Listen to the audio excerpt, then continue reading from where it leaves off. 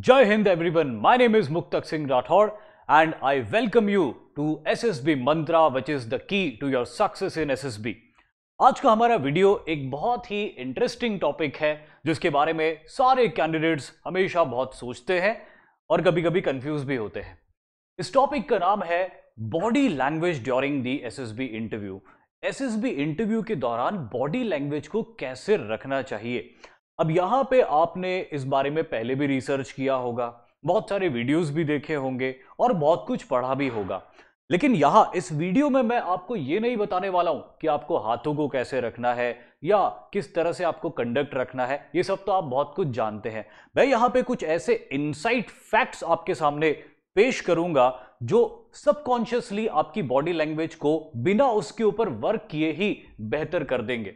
तो जरा देखें कि बॉडी लैंग्वेज का इंपॉर्टेंस क्या है, क्योंकि सबसे पहले जो चीज़ हमको दुरुस्त करनी है, उसका महत्व क्या है और कितना महत्व है, इसके बारे में हम समझते हैं। देखिए, बॉडी लैंग्वेज होता क्या है? There are two type of communication after all जब भी हम एसएसबी इंटरव्यू या किसी भी इंटरव्यू के अंदर जाते हैं तो सबसे इंपॉर्टेंट होता है हमारा कम्युनिकेशन कम्युनिकेशन कि हमारा मैसेज कन्वे हो जाए इफेक्टिवली जो हम देना चाहते हैं। अब इस मैसेज या कम्युनिकेशन की ज़ुबान में या कम्युनिकेशन की दुनिया में उसको दो पार्ट में डिवाइड करके रखा हुआ है। पहला होता है आपका वर्बल कम्युनिकेशन वर्बल कम्युनिकेशन वो कम्युनिकेशन होता है जो आप मुँह से बोलते हो। जैसे कि अभी मैं बोल रहा हूँ, आपको सुनाई दे रहा है, लेकिन मैं अभी आपको दिखाई नहीं दे रहा हूँ। लेकिन दूसरी तरह का कम्युनिकेशन होता है नॉन वर्बल और ये नॉन वर्बल कम्युनिकेशन वो होता है जो हमारे वर्ड से नहीं, बल्कि हमारे एक्शन से ज़ाहिर होता है, दिखाई देता है। और जब हम बॉडी लैंग्वेज की बात करते हैं तो वो बॉडी लैंग्वेज इस दूसरे तरह की कैटेगरी में ही फॉल होता है, उसी का हिस्सा होता है। और दोस्तों, इसका बड़ा इंपॉर्टेंस होता है। मैं आपको छोटा सा एग्ज़ाम्पल देता हूँ कि नॉन वर्बल कम्युनिकेशन का इतना इंपॉर्टेंस क्यों होता है। इनफैक्ट मैं एक बात आपको कहूँगा कि जितना भी कम्युनिकेशन हम करते हैं, उस कम्युनिकेशन की इफेक्टिवनेस में 50 परसेंट से ज़्यादा रोल आपके नॉन वर्बल कम्युनिकेशन का होता है। एक छोटा सा सिचुएशन इमेजिन कीजिए कि कोई छोटा सा बच्चा होता है, जब यानी कि बच्चे छोटे ही होते, लेकिन फिर भी जब कोई बच्चा पैदा होता है, जब वो बोलना नहीं जानता है, तब वो बच्चा किस तरह से कम्युनिकेट करता है? क्या वो बच्चा कम्युनिकेट करता भी या नहीं करता है? ऑब्वियसली वो बच्चा कम्युनिकेट करता है। लेकिन वो बच्चा बोल नहीं सकता।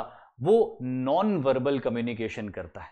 वो रो सकता है, वो हंस सकता है, या अपने बॉडी के मूवमेंट से वो एक्साइटमेंट शो कर सकता है, या किसी और तरह के भाव को वो प्रदर्शित कर सकता है।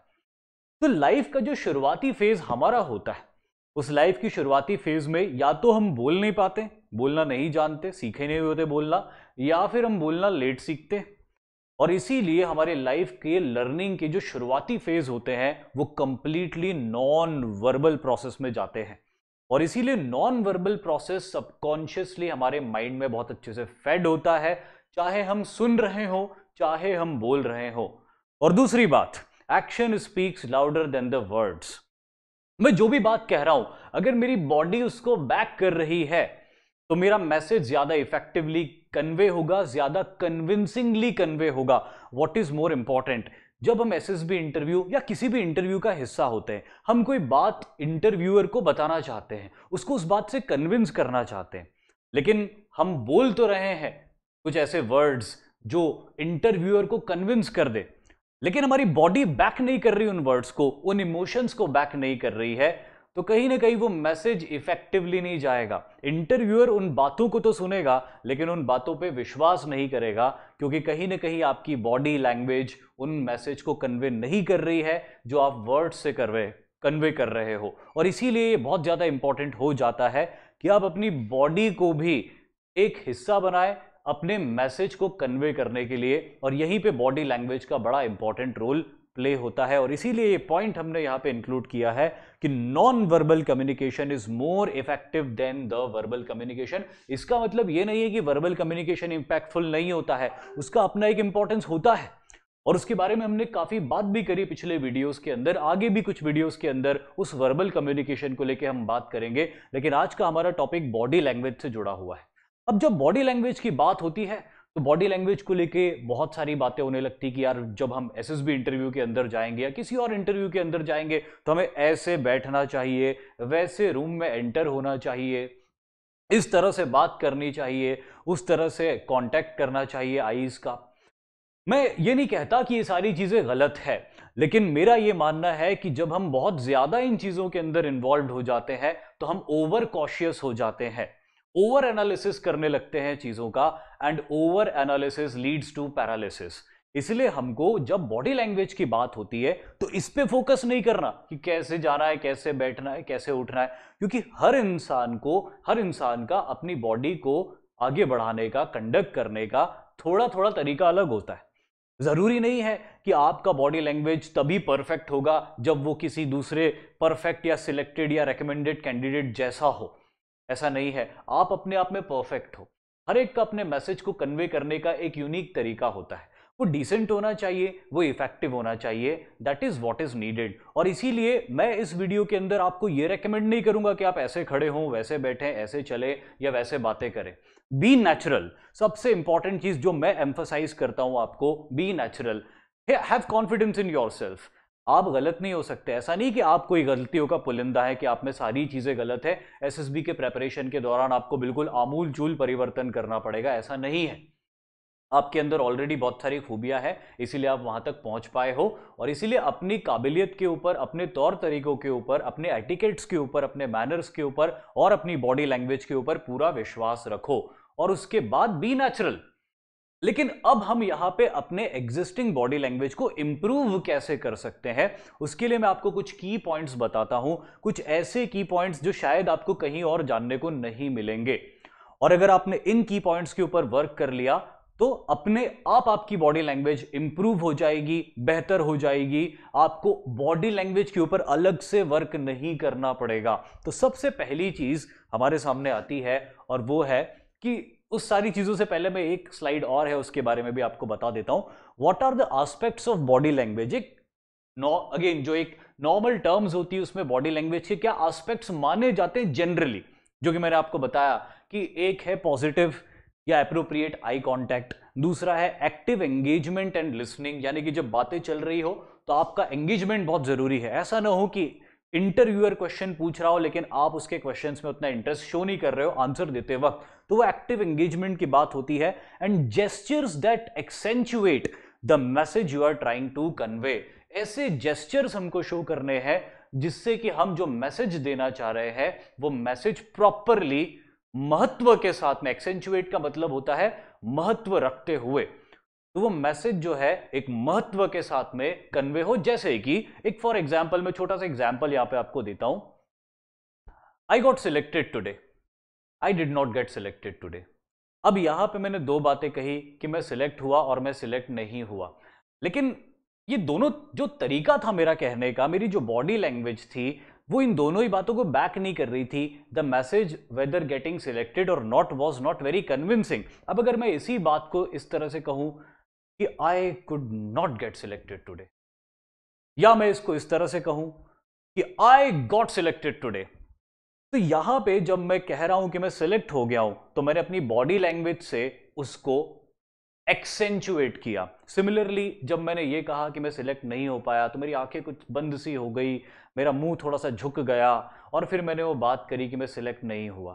तो मैंने अपने मैसेज को एक्सेंचुएट किया. जो नेगेटिव मैसेज था सिमिलरली जो पॉजिटिव मैसेज था तो मेरी आईज वाइड ओपन थी और मेरे हैंड जेस्टर और मेरी बॉडी जो थी, वो कड़क हो गई थी, हाथ का मूवमेंट थोड़ा सा हो गया तो वो खुशी जो थी, वो जो एक्साइटमेंट था सिलेक्ट होने का, वो झलक रहा था। So this is what body language is कि जो भी मैसेज आप देना चाहते हो, वो मैसेज आपकी बॉडी भी बैक करे, ताकि सुनने वाला ज़्यादा अच्छे से कन्विंस हो सके। तो ये तीन इंपॉर्टेंट आस्पेक्ट्स हैं किसी भी इफ़ेक्टिव बॉडी लैंग्वेज के इनके बारे में आगे भी हम बात करेंगे, लेकिन जो मैंने आपको वादा किया है कि मैं आपको कुछ ऐसे पॉइंट्स बताऊँगा जिनके ऊपर वर्क करने के बाद में आपको अलग से बॉडी लैंग्वेज के ऊपर कभी भी वर्क नहीं करना पड़ेगा। वो पॉइंट्स क्या है? सबसे पहला और इंपॉर्टेंट पॉइंट है इंप्रूव योर फिटनेस ये बहुत अच्छी बात है कि आप फिट रहो और इसको मैं हमेशा रेकमेंड करता हूँ कि फिटनेस बहुत ज़्यादा इंपॉर्टेंट रोल प्ले करती है। If you want to achieve success in your life you have to be physically very very fit या मैं दूसरे वर्ड्स में कहूँ तो if you are physically very very fit you are very likely to achieve success in your life अब यहाँ पे fitness का क्या रोल है? जरा इस पैराग्राफ को हम पढ़ते हैं और इस पैराग्राफ को पढ़ के हमको इस बात को समझने में मदद मिलेगी कि फिटनेस कैसे आपकी बॉडी लैंग्वेज को इंप्रूव कर सकती है। जरा इसको पढ़ते हैं। You improve your body your mind gets stronger हम कहते हैं ना कि एक हेल्दी माइंड एक हेल्दी बॉडी के अंदर ही रह सकता है। तो अगर अपन ने अपनी बॉडी को हेल्दी रखा, उसको फिट रखा तो उसी हेल्दी और फिट बॉडी के अंदर एक हेल्दी माइंड हो सकता है। Next point you feel you can do more and in turn your posture improve जब हम फिट होते हैं, तब हमारी एफिशिएंसी बढ़ जाती है काम को करने में। और जब हमारी एफिशिएंसी बढ़ जाती है, हमारा कॉन्फिडेंस बढ़ जाता है तो हमारा जो पोस्चर होता है, अपने आप को कैरी करने का कंडक्ट करने का, वो पोस्चर भी काफ़ी इंप्रूव हो जाता है। एक झुके हुए और डल पोस्चर से एक स्क्वेर्ड पोस्चर हमारा बन जाता है। तो ये सब तब होता है जब हम फिट होते हैं। द वे यू मूव में चेंज इंटायरली आप जिस तरह से मूव करते हो, ये पूरी तरह बदल जाएगा।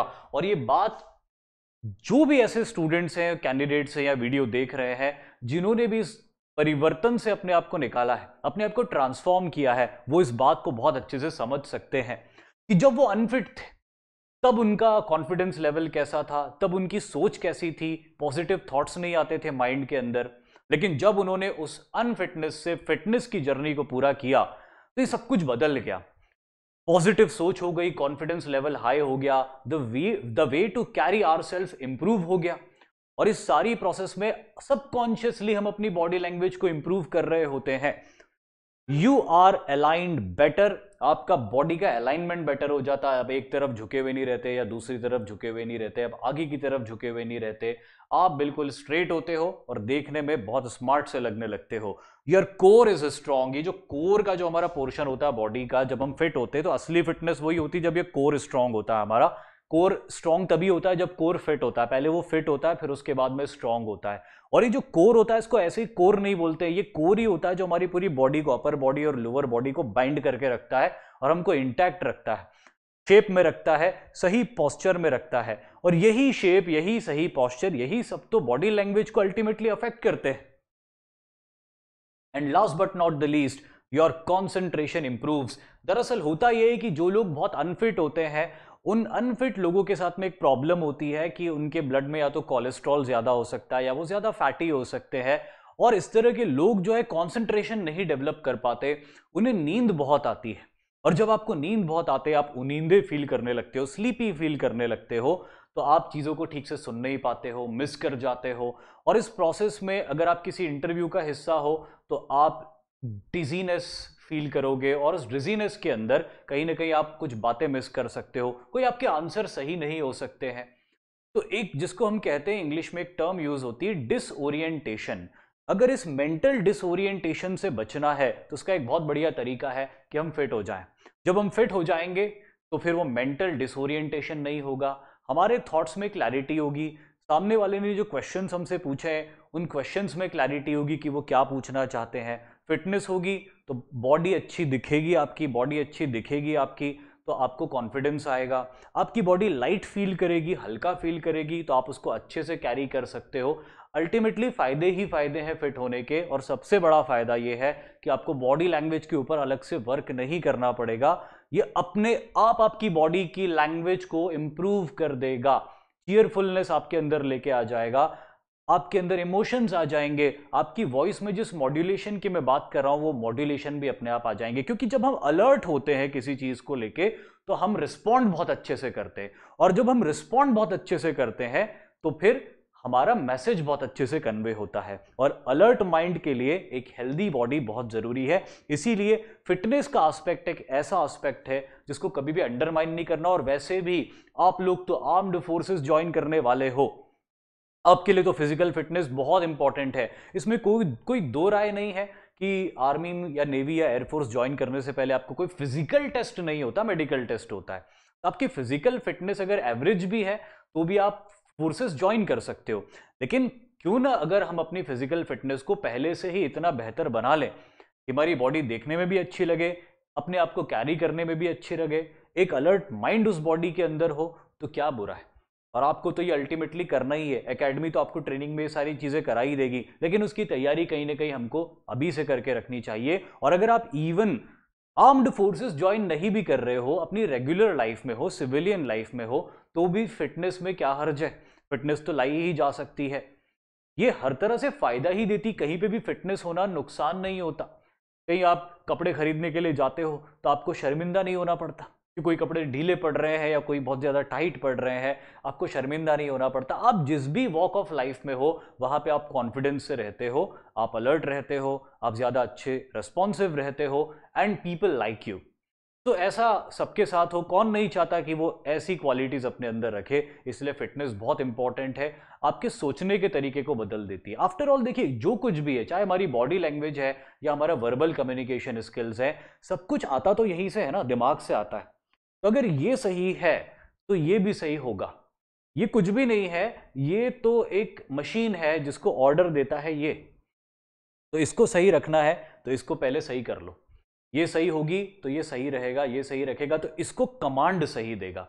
और इसको कमांड सही मिलेंगे तो सब सही होने लग जाएगा, फिर वो बॉडी लैंग्वेज हो या चाहे कुछ और भी हो।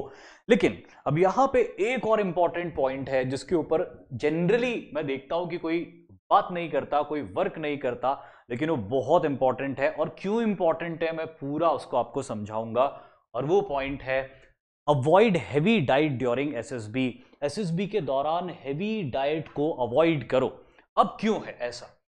The connection between diet and emotion stems from the close relationship between your brain and your gastro intestinal tract अब ये इस मैं यहाँ पे बायोलॉजी पढ़ाने के लिए तो नहीं आया हूँ, लेकिन एक रिलेशन में आपको ड्रॉ करके बता रहा हूँ कि बॉडी लैंग्वेज का हमारे खाने से कितना ज़्यादा इंपॉर्टेंट कनेक्शन होता है। ये आपका पूरा जीआई ट्रैक है। ये पूरा जीआई ट्रैक्ट है आपका। आपने बायोलॉजी के अंदर पढ़ा है, मुझसे बेहतर जानते हैं इस चीज़ को आप। लेकिन अब आगे की चीज़ें आप पढ़िए, क्योंकि इसमें एक इंपॉर्टेंट पॉइंट लिखा हुआ है। It is called as the second brain ये तो ब्रेन है जो हमारी बॉडी को चला रहा है, उसको कमांड दे रहा है। लेकिन इसे भी बहुत इंपॉर्टेंट माना गया है ह्यूमन बायोलॉजी के अंदर, क्योंकि इसे सेकंड ब्रेन कहा गया है। अब ये सेकंड ब्रेन इसको क्यों कहा गया है? इसको हम आगे रीड करते हैं, उससे हमको धीरे धीरे समझ में आएगा। Your G I tract is home to billions of bacteria ये सब हम बात जानते हैं। कि हमारे पूरे गैस्ट्रो इंटेस्टाइनल ट्रैक के अंदर बहुत सारे बैक्टीरी बैक्टीरियाज होते हैं। Influence the production of neuro जो कि न्यूरो के इन्फ्लुएंस को प्रोड्यूस करते हैं। Chemical substance that constantly carry messages from the gut to the brain यानी कि हमारे जीआई ट्रैक्ट से ब्रेन को लगातार मैसेजेस न्यूरो के थ्रू पहुँचते ही रहते हैं। Eating healthy food promotes the growth of good bacteria अगर हम अच्छा खाना खाते हैं तो अच्छे बैक्टीरिया का जनरेशन ज़्यादा होता है which in turn positively affect neurotransmitter production जो कि न्यूरो ट्रांसमीटर के प्रोडक्शन को पॉजिटिवली अफेक्ट करता है। When neurotransmitter production is in good shape your brain receive these positive messages loud and clear and your emotions reflect it सीधी सी बात है कि हम अगर अच्छा खाना खाते हैं, अच्छे खाने की डेफिनेशन भी मैं आपको आगे बताऊँगा, लेकिन अगर हम अच्छा फ़ूड ले रहे हैं, जो हमारी बॉडी के अंदर गुड बैक्टीरियाज डेवलप कर रहा है प्रोड्यूस करने में मदद कर रहा है तो ये जो न्यूरो ट्रांसमिटिंग मैसेजेस जा रहे हैं यहाँ से ब्रेन तक, ये भी आपको पॉजिटिव जाएँगे। और जब ये मैसेज पॉजिटिव जाएँगे तो फिर आपकी इमोशंस में आपका बर्ताव रिफ्लेक्ट होगा। इसीलिए फ़ूड का हमारे थॉट प्रोसेस के ऊपर बहुत ही इंपॉर्टेंट इन्फ्लुएंस होता है, बहुत इंपॉर्टेंट इफ़ेक्ट होता है। अब आप सोच रहे होंगे कि, सर, आप कुछ डाइट रेकमेंड कर रहे हो क्या? तो सबसे पहली मैं ये चीज़ कहूँगा आपको कि जो हमारे इंडिया के होमली फ़ूड होते हैं अलग अलग इलाके के थोड़े थोड़े फ़ूड अलग अलग होते हैं और वो बहुत बढ़िया है। क्योंकि हर इलाका कुछ खास तरह की फ़सलों को पैदा करता है और उस तरह की फ़सलें उस इलाके के अंदर रहने वाले लोगों के लिए सबसे बेस्ट फ़ूड होती है। तो सबसे पहली चीज़ आपको यहाँ पे ये इंश्योर करनी है कि चाहे कुछ भी हो जाए, आपको हैवी डाइट्स नहीं लेनी है। साथ ही साथ आप वर्कआउट कर रहे हैं, मैं ये मान रहा हूँ कि आप अपने फिटनेस का ध्यान रख रहे हैं और फिटनेस का ध्यान रखने की प्रोसेस में आप वर्कआउट कर रहे हो।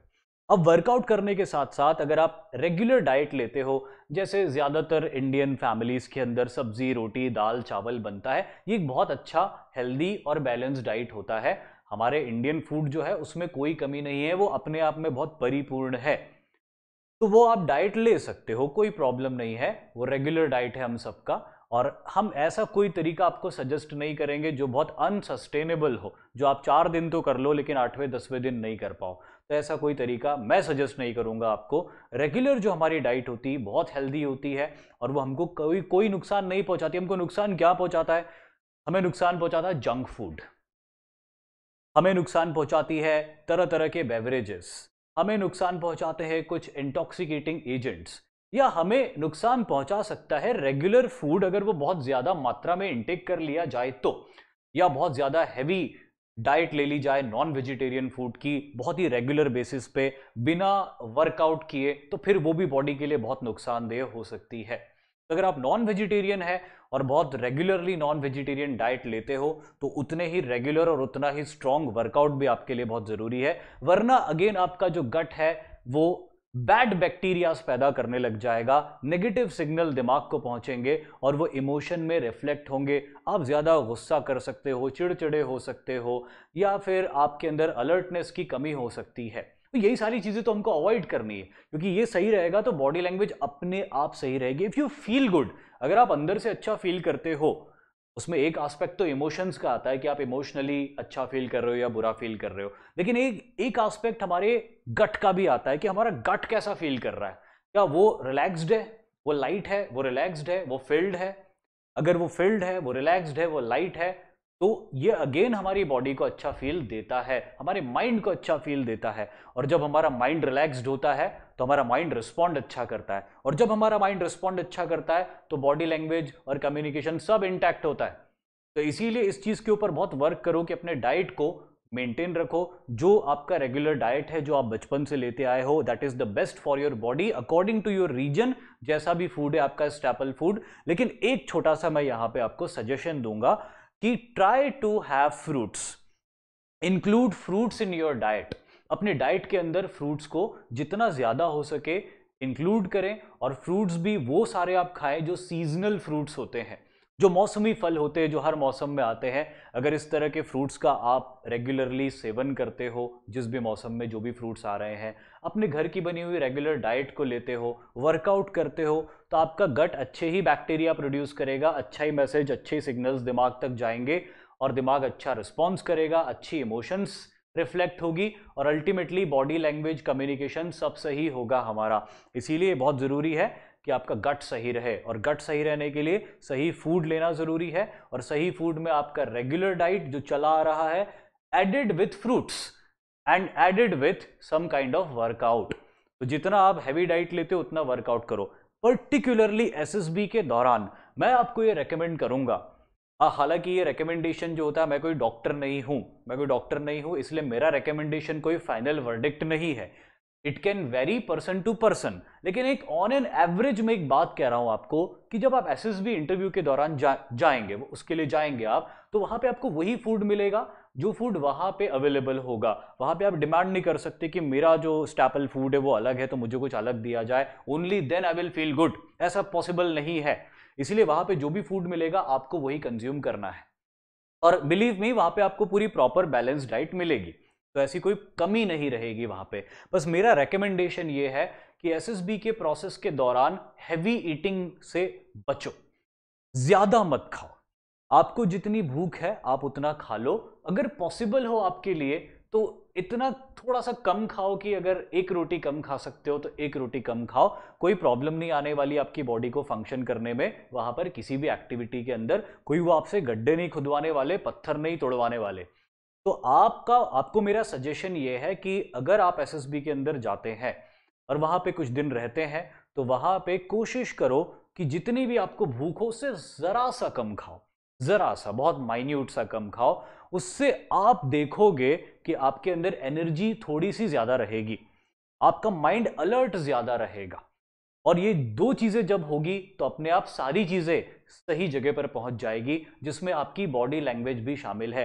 दरअसल, मैं ये सब बातें इसलिए आपको बता रहा हूँ, क्योंकि ज़्यादातर लोग ये कहते हैं कि बॉडी लैंग्वेज की जब बात होती तो वो बॉडी लैंग्वेज पे फोकस करने लगते ऐसे चलो, ऐसे बैठो, ऐसे खड़े हो, ऐसे देखो। मेरा ये मानना है कि इतना ज़्यादा किसी को डायरेक्ट नहीं करना चाहिए, क्योंकि हर एक का अपना एक तरीका होता है। वो बचपन से लेके अब तक चलते आए हैं, बात करते आए हैं, मिलते जुलते आए हैं लोगों से तो वो बेवकूफ़ नहीं है, वो बुद्धू नहीं। आप लोग बेवकूफ़ नहीं हो। आप बुद्धू नहीं हो, आपको भी पता है किससे कैसे बात करनी हैंड मूवमेंट कैसे करना है बॉडी का जेस्चर पोस्चर कैसे रखना है। यहाँ पे बात यह है कि मैं, मुझे पूरा विश्वास है कि आपका तौर तरीका बिल्कुल सही है। मेरा सजेशन सिर्फ़ उसको इंप्रूवमेंट लाने में है। मैं सिर्फ़ ये चाहता हूँ कि आप उस तरीके को और इंप्रूव कर लो। और उसके लिए दो बेहतरीन तरीके मैंने आपको बताए। फिटनेस बना के रखो और फिटनेस बनाने के साथ साथ आप अच्छी डाइट लो पर्टिकुलरली एसएसबी के अंदर जाओ तो हैवी ईटिंग तो बिल्कुल भी नहीं करना।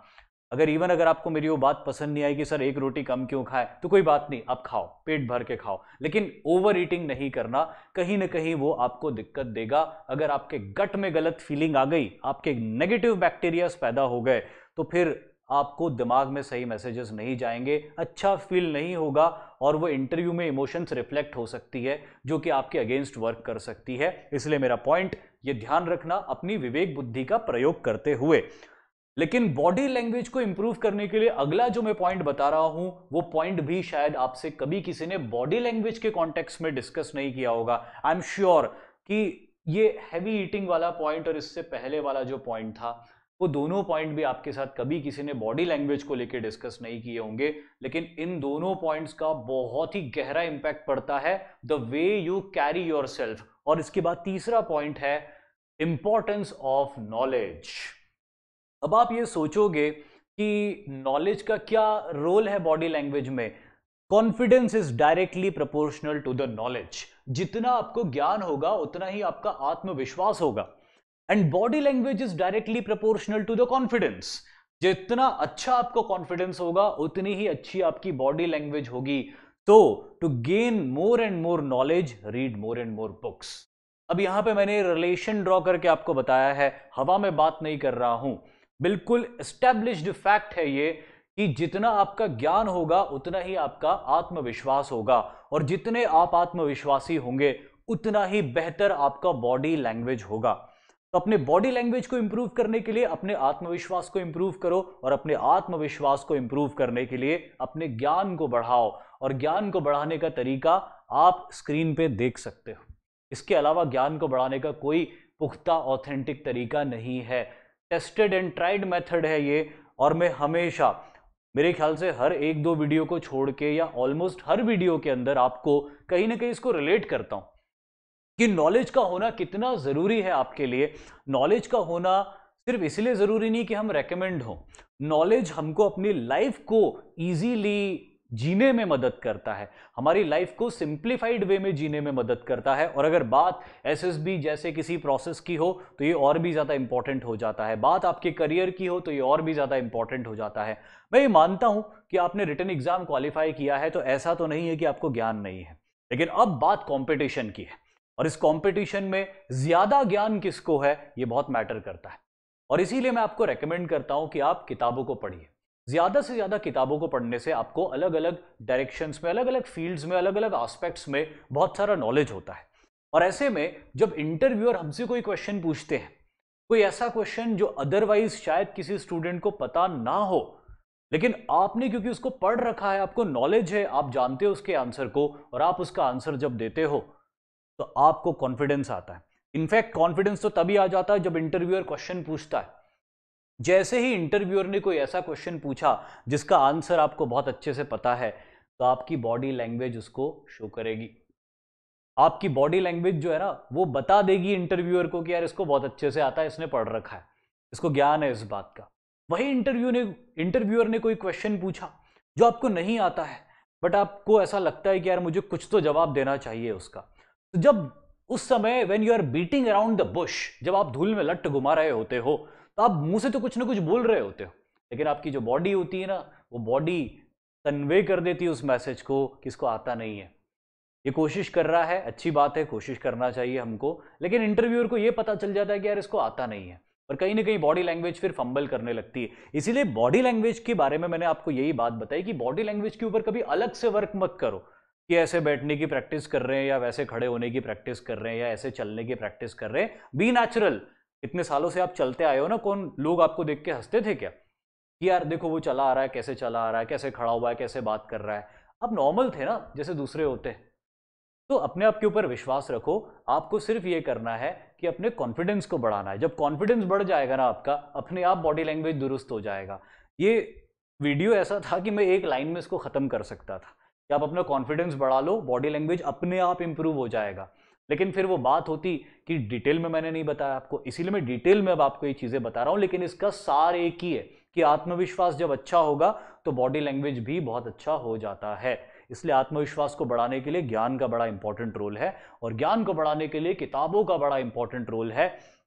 आई बेग मैं आपसे जो है बीक तो नहीं मांग सकता, लेकिन मैं आपको रेकमेंड करता हूँ हाईली रेकमेंड करता हूँ कि आप किताबें पढ़ें, चाहे मेरे लेक्चर्स हों, चाहे मेरे किसी और तरह के वीडियोज़ हों, चाहे एस एस बी मंत्रा के वीडियोज़ हों, मैं हमेशा रेकमेंड करता हूँ कि ज़्यादा से ज़्यादा किताबें पढ़े किताबें आप पढ़ोगे, आप दूसरों से ज़्यादा ज्ञानी हो जाओगे और जब दूसरों से ज़्यादा ज्ञानी हो जाओगे तो अपने आप सब आपको एक लीडर की तरह एक्सेप्ट करेंगे। एसएसबी के अंदर भी पूछे हुए क्वेश्चंस के जवाब जब आपको पता होंगे तो उनको आंसर देते वक्त आपकी बॉडी अपने आप बैक करेगी उस मैसेज को और वो मैसेज ज़्यादा इफेक्टिवली कन्वे होगा, जो अल्टीमेट ऑब्जेक्टिव है बॉडी लैंग्वेज का। बॉडी लैंग्वेज का ऑब्जेक्टिव ये नहीं है कि मैं ऐसे बैठूं या वैसे बैठूं या ऐसे खड़े रहूँ। बॉडी लैंग्वेज का ऑब्जेक्टिव ये है कि आपका जो मैसेज है वो इफेक्टिवली कन्वे हुआ कि नहीं हुआ because after all it is also a type of communication non verbal communication जो इस वीडियो के शुरू में मैंने आपको बता दिया था। ये पॉइंट आप बहुत अच्छे से समझ गए होंगे। इसके बाद एक इंपॉर्टेंट एस्पेक्ट आता है बॉडी लैंग्वेज का, जो आपके कपड़ों से जुड़ा हुआ है। कि हमें किस तरह के कपड़े पहनने चाहिए और किस तरह के कपड़े पहनने चाहिए, ये स्क्रीन पे आप देख सकते हो। और ये पॉइंट भी ऐसा पॉइंट है कि मुझे आपको बहुत समझाने की ज़रूरत नहीं है, क्योंकि आप बहुत अवेयर हैं। इंटरनेट की दुनिया है, सभी जानते हैं कि एसएसबी इंटरव्यू के लिए जब हम जाते हैं तो हमको किस तरह के कपड़े पहनने चाहिए, किस तरह के फॉर्मल वियर मेन को पहनने चाहिए, किस तरह के फॉर्मल वियर फीमेल्स को पहनने चाहिए। इवन ये भी देखा गया है कि एसएसबी इंटरव्यू के दौरान बहुत सारी फीमेल्स बहुत डिसेंट सलवार और कुर्ती जैसे ड्रेस पहन के भी जा सकती है वो भी कोई ऑफेंस की तरह नहीं लिया जा सकता यहाँ पे इस फोटोग्राफ में हम देख सकते हैं कि बहुत सारी फीमेल्स हैं जो एसएसबी में अपीयर कर रही है लेकिन उन्होंने हर तरह के ड्रेसेस को पहन रखा है बहुत सारी ऐसी ग्रुप एक्सरसाइजेस होती है जिसमें इस तरह के कपड़े या इस तरह के कपड़े प्रैक्टिकल नहीं होते कंफर्टेबल नहीं होते तो वहाँ पे इस तरह के टी शर्ट्स शॉर्ट्स और सिंपल से स्पोर्ट शूज़ भी सफिशियंट होंगे। तो एसएसबी के अंदर जाने के लिए आपके बॉडी लैंग्वेज के साथ साथ आपको अपने अपीरियंस के ऊपर भी थोड़ा सा ध्यान देना चाहिए और आपको सही ओकेजन के लिए सही कपड़े सिलेक्ट करने चाहिए। जैसे साइकोलॉजिकल टेस्ट हुआ या देखिए पर्सनल इंटरव्यू में तो बहुत इंपॉर्टेंट होता है कि आप बहुत ही सलीके के कपड़े पहन के जाएँ। सिमिलरली साइकोलॉजिकल टेस्ट के दौरान भी आप फॉर्मल कपड़े पहन सकते हैं। इंटरव्यू के दौरान मैंने आपको बताया कि कई लड़कियाँ चूज़ करती है कोई डिसेंट सा दिखने वाला सलवार सूट पहनना, जो कि एब्सोल्युटली फाइन है, उसमें कोई दिक्कत नहीं है। अब चाहे तो इस तरह की ड्रेस भी चूज़ कर सकते हैं, इस तरह की ड्रेस भी चूज़ कर सकते हैं, इस तरह की ड्रेस भी चूज़ कर सकते हैं। जो आउटडोर एक्टिविटीज़ होती है ग्रुप एक्टिविटीज़ होती है, उसके अंदर इस तरह के टी शर्ट्स और शॉर्ट्स या ट्राउजर्स या फिर sport shoes that is it इससे ज़्यादा आपको कोई रिक्वायरमेंट नहीं है, कोई बहुत बड़े बैगेज और लगेज को कैरी करने के लिए, हर दिन के लिए अलग अलग तरह के कपड़े, ऐसा ज़रूरी नहीं है। एक ही तरह के दो चार कपड़े आप ले जा सकते हो, उसको रेगुलरली वॉश करके आप रिपीट करके भी पहन सकते हो। तो इसको लेके भी कोई लोड मत लेना। आपको पता है कि आपको किस तरह के कपड़े पहनने और अगर हल्का फुल्का भी आपके मन में डाउट था तो वो यहाँ पे क्लियर हो गया होगा। एक और चीज़ जो मैंने यहाँ पे मैंशन नहीं करी, लेकिन अभी बात करते करते अचानक मुझे याद आ गई है, और वो है hair cut specially for boys लड़कों के लिए ये बहुत ज़रूरी है कि उनका हेयर कट डिसेंट होना चाहिए। मैं ये नहीं कह रहा हूँ कि हर लड़का बिल्कुल प्रॉपर मिलिट्री कट करवा के ही जाए वहाँ पे, लेकिन आपके हेयर कहीं से भी अनडिसेंट नहीं लगने चाहिए। लंबे लंबे बाल नहीं होने चाहिए या लटे हुए, निकली हुई नहीं होनी चाहिए। डिसेंसी दिखनी चाहिए, भले आपके बाल मिलिट्री कट ना हो, लेकिन फिर भी आपका हेयर कट डिसेंट होना चाहिए। एंड अगेन ये एक ऐसी चीज़ है जो बहुत समझाने की ज़रूरत नहीं है। आई थिंक आप बहुत आसानी से इस चीज़ को समझ सकते हो। And there is no harm in getting a military hair cut if you want to join the armed forces what is wrong what is a shame in having a military hair cut तो basically मैं लड़कों को तो ये recommend करूँगा कि वो military hair cut ही रखें प्रॉपरली और हाँ बाल में कलर वलर बिल्कुल भी नहीं होना चाहिए तो बहुत गलत इंप्रेशन होगा। अगर आपके बाल में आपने कलर कर रखा है तो आप उसको वापस जो भी नेचुरल आपका कलर है, उस तक ले आए तो बहुत बेहतर होगा, वरना ये बहुत ख़राब इंप्रेशन देता है। मदर नेचर ने जैसा आपको बनाया है, जो रंग आपकी चमड़ी का दिया है, जो रंग आपके बालों का दिया है, वो कुछ सोच समझ के ही दिया है। बी प्राउड ऑफ़ इट उसके ऊपर गर्व करो। हम भूरे रंग के बालों वाले लोग नहीं हैं। हमारे देश की जलवायु ऐसी है कि हम ज़्यादातर काले रंग के ही बालों वाले हैं। और इसीलिए हमको अपने बालों को रंग के भूरा, नीला, पीला, हरा करने की ज़रूरत नहीं है। जैसे बाल है, उसी रंग के रखो, एक डिसेंट हेयर कट रखो, किस तरह के कपड़े किस ओकेजन पे पहनना है ये आप जान चुके हो, और फिर नॉर्मली रिलैक्स होके जाओ वहाँ पे एक अच्छे माइंड सेट के साथ में। क्यों नहीं बॉडी लैंग्वेज अच्छा होगा? बिल्कुल अच्छा होगा बॉडी लैंग्वेज बॉडी लैंग्वेज कोई अलग से थोड़ी चलता है माइंड से ही चलता है ओवरऑल पूरा बॉडी लैंग्वेज लेकिन इस सब के बाद कुछ और बातें जो बॉडी लैंग्वेज को लेकर बार बार कही जाती है अलग अलग वीडियोस में बताई जाती है अलग अलग आर्टिकल्स में लिखी हुई जाती है तो मैं उनके बारे में भी कुछ बातें इस बारे में आपसे कर लेता हूँ। कुछ पॉइंट्स जो आप ध्यान रख सकते हो। पहला प्रॉपर आई कॉन्टैक्ट अभी एक बहुत इंपॉर्टेंट चीज़ होती है कि आई कांटेक्ट को प्रॉपर कैसे रखा जाए। एक बात कही जाती है कि आई कॉन्टेक्ट आपको प्रॉपर रखना है। अब प्रॉपर आई कॉन्टेक्ट के प्रोसेस का मतलब ये नहीं कि हम किसी को घूरना शुरू कर दे पलग ही ना झपकाएँ। ये नहीं, ऐसा नहीं करना है आपको। आई कॉन्टेक्ट अच्छा रखने का मतलब है कि आपको फ्रीक्वेंटली उनकी आँखों में देखना है।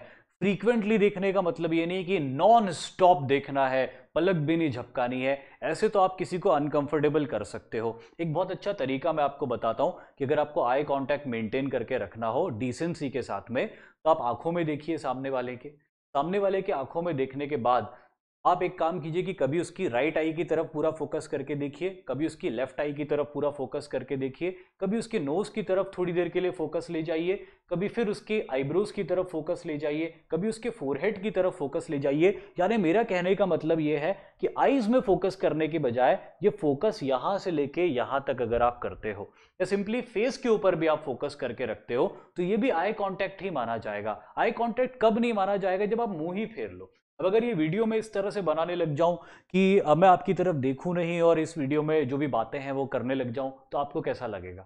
अरे यार सर देख नहीं रहे मेरी तरफ़ ठीक से, मैसेज कन्वे नहीं हो रहा है ठीक से। क्या ये खुद कन्विंस्ड नहीं है अपनी बात को बोलने में? ये वाली बात आ जाएगी। इसीलिए हमको उसी तरफ़ देखना है, लेकिन लगातार किसी की आँखों में देखना भी कभी कभी ऑफेंसिव हो जाता है या अजीब हो जाता है। और इसीलिए हमें ध्यान रखना है कि हमको फेस की तरफ़ देखना है। लगातार आँखें ना देखें हम थोड़ा इधर उधर भी ध्यान रखें हमको। और इस बीच अगर कोई ऐसा पॉइंट आता है, जिसको सोचने के प्रोसेस में आप ऊपर देखने लगते हो, नीचे देखने लगते हो तो it's all right eye contact maintain करने का मतलब ये नहीं है कि नॉन स्टॉप हंड्रेड परसेंट आप सामने ही देखते रहो। ऐसे पॉइंट्स आएँगे बीच बीच में, जब आपका आई कांटेक्ट ब्रेक हो सकता है and it is absolutely normal उसमें कुछ भी एबनॉर्मल नहीं है। अगर आपने एक सेकंड के लिए नीचे देख लिया कुछ सोचने की प्रोसेस में, या कुछ इधर से आवाज़ आई और आपका एकदम इधर ध्यान चला गया थोड़ी देर के लिए तो it is okay absolutely okay या पीछे कोई आया एकदम से, किसी ने आके बोला और आपका ध्यान पीछे चला गया तो भी ये फाइन है, कोई इशू नहीं है इसके अंदर। आई कांटेक्ट को इतना सीरियसली कभी मत लेना कि बिल्कुल आँखों में आँखें डाल के या तो खुद हिप्नोटाइज हो गए या सामने वाले को हिप्नोटाइज कर दिया, उस लेवल का आई कांटेक्ट नहीं करना है।